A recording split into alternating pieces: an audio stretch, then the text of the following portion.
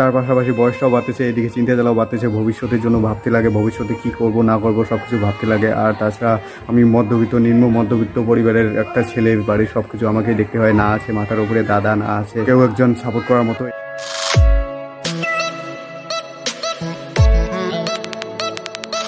Hello guys welcome back to my YouTube channel vlog Akanchan and welcome to my bad new vlog তো guys আজকের ব্লগটা তাদের জন্য করা। যারা আমাকে মেসেজ করে বলছে এবং বিভিন্ন জায়গায় দেখা হলে বলছে যে ব্লগ কেন এখন দাও না? কী সমস্যা? কেন দাও না ব্লগ তো, তাদের জন্যই আজকের ব্লগটা করা। আর আগের ব্লগেও আমি বলছিলাম যে, পরের ব্লগে বলব কিসের জন্য আমি ইয়াংমাস থেকে ব্লগ দেই না কিসের জন্য আমি ব্লগ দিতে পারি না ইয়াংমাস থেকে। তো, সেটাই আজকে বলতে চলেছি সব কিছু শেয়ার করতে চলেছি তোমাদের সামনে, guys। তো, আজকের ব্লগটা প্লিজ সবাই শেষ পর্যন্ত দেখবেন, তাহলে বুঝতে পারবেন যে আমার লাইফস্টাইল কেমন চলছে, আর কিসের জন্য আমি ব্লগ দিতে পারি নাই। ইয়াং মাস থেকে। তো সব কিছু আজকে শেয়ার করতে চলেছি তোমাদের সাথে। তো চলো ব্লগটা শুরু করা যাক। মানে গেছ গত এক মাস ধরে আমি প্রচণ্ড ডিপ্রেশনের মধ্যে ছিলাম। চেহারা দেখে হয়তো অনেকেই বুঝতেই পারছেন।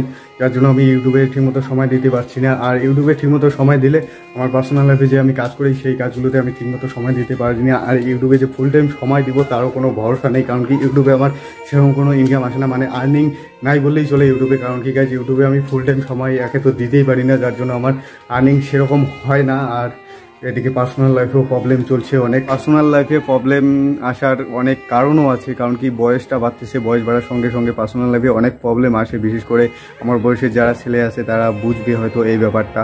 তো এটাই আর কি গাইস যার জন্য আমি আগে ভাবতাম যে ইউটিউবে আমি ফুল টাইম কাজ করব ইউটিউব থেকে আমি কিছুটা করব বাট এখন আমার মনে হয় যে ইউটিউবটা আমার জন্য না, কারণ কি ইউটিউবে আমি এতদিন কাজ করার পরেও কিছু করতে পারলাম না সেরকম। তার পাশাপাশি বয়সটাও বাড়তেছে, এদিকে চিন্তা চিন্তাধারাও বাড়তেছে, ভবিষ্যতের জন্য ভাবতে লাগে, ভবিষ্যতে কি করব, না করব সব কিছু ভাবতে লাগে। আর তাছাড়া আমি মধ্যবিত্ত, নিম্ন মধ্যবিত্ত পরিবারের একটা ছেলে বাড়ির সব কিছু আমাকেই দেখতে হয়। না আছে মাথার উপরে, দাদা না আছে। কেউ একজন সাপোর্ট করার মতো এই জন্যই গাছ সব কিছু আমাকেই দেখতে হয় ফ্যামিলির মধ্যে। আমি একা, তো তার জন্যই আমি আমার বিজনেস যে প্ল্যান ছিল আগের থেকে একটা তো সেই বিজনেস প্ল্যানটা আমি ওপেনিং করার কথা ভাবতেছিলাম দীর্ঘ এক মাস ধরে। তো সেটাই ঠিক আছে এই কারণেই আমি ভিডিও দিতে পারি নাই সোশ্যাল মিডিয়ায় মানে ইউটিউব প্ল্যাটফর্মে ভিডিও দিতে পারি নাই। তো তোমাদের জানা হয়ে গেল ক্লিয়ার হয়ে গেল ব্যাপারটা যে আমি কেন ভিডিও দিতে পারি নাই এক মাস ধরে। শুধু এটাই কারণ না গাইছে আরও একটা মেন কারণ আছে যে মেন কারণটা চলো দেখাই।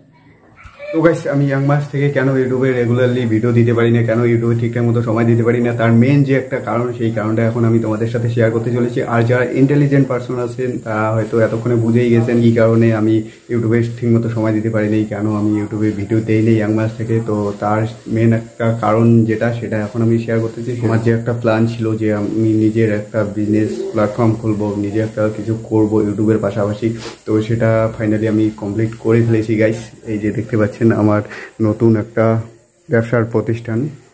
তো এখানে আমার mobile repairing and mobile sale দোকান খুলতে চলেছি, যে কাজটা আমার জানা আছে অলরেডি আগের থেকেই। আর তোমরা যারা জানো যে আমার বাড়ি মাথা ভাঙা না গাইস আমার বাড়ি মাথা ভাঙা না, আমার বাড়ি মাথা ভাঙা থেকে একটু দূরে, সেটা হচ্ছে ভাওথানা বাজার। এই ভাওথানা বাজারেই ছোট একটা বাজার, সেই বাজারেই আমার এই ব্যবসার প্রতিষ্ঠান খুলে বসে পড়েছি আর আমাদের আজকে এখানে পুজো হয়েছে, যার জন্য এখনও মালটাল ঠিক মতো তোলা হয়নি। আপাতত আমার মোবাইল রিপেয়ারিংয়ের কাজের জন্য যে মেন মেন মেশিনগুলো লাগে, যে যন্ত্রপাতি লাগে, সেগুলো তোলা হয়েছে।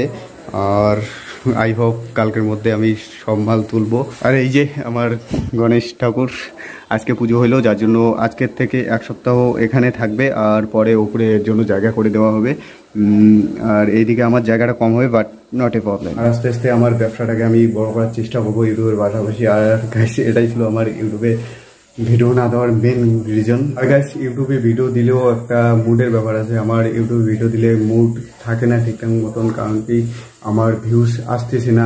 গত দুই থেকে তিন মাস ধরে আমার ভিউজ আসতেছে না ঠিকঠাক মতো। যার জন্য আমি ইউটিউবে ঠিকঠাক মতো যে একটা সময় দেবো, তার একটা ভরসা পাচ্ছিলাম না। আর ইউটিউবে যে আমার ভবিষ্যতে কিছু একটা করতে পারব, তারও কোনো গ্যারান্টি নেই। যার জন্য আমি ইউটিউবে ফুল টাইমটা দেই নেই এই এক মাস থেকে। গাছ এখন থেকে আমি কন্টিনিউয়াসলি তোমাদেরকে ভিডিও দেওয়ার চেষ্টা করব। আর তার পাশাপাশি তোমাদেরও একটু সাপোর্ট দরকার, কারণ কি তোমাদের সাপোর্ট না পেলে মানে ভিডিও করার যে একটা মুড সেই মুডটা থাকে না গাছ আর তোমরা যদি ভালোভাবে সাপোর্ট করো, তাহলে আমি উৎসাহ পাই, যার জন্য আমার ভিডিও করার মুড ভালো থাকে আর আমি ভিডিও করতে পারি। আর ভিডিওতে রিচ ডাউন থাকলে আমার একদমই ইচ্ছা করে না। মানে চ্যানেলে এমন রিচ ডাউন চলছে এখন আমার মানে ভিডিও করার যে একটা মুড সেই মুডটাই চলে গেছে। যারা ইউটিউবে কাজ করো ইউটিউব প্ল্যাটফর্মে কাজ করো, তারা হয়তো জানো এই ব্যাপারটা।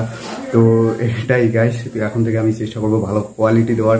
কারণ কি এখন আমার ব্যবসার প্রতিষ্ঠান, আমার যে মেন একটা টার্গেট ছিল ইউটিউবের পাশাপাশি করা, সেটা মোটামুটি আমার রানিং করলাম বাট এটা যদি ভালো চলে আস্তে আস্তে আমি মনে করো ইউটিউবে কিছু ইনভেস্ট করতে পারব, আর ইউটিউবে আমি ভালো কোয়ালিটি তোমাদেরকে দেওয়ার চেষ্টা করব গাইজ আর কন্টিনিউসলি কাজ করার চেষ্টা করব। এটাই বলার ছিল আজকের এই ভিডিওতে।